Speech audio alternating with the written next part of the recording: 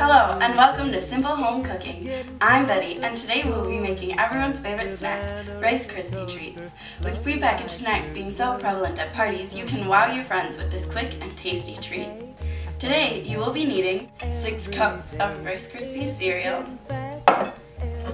10 ounces of marshmallows, and 3 tablespoons of butter or margarine.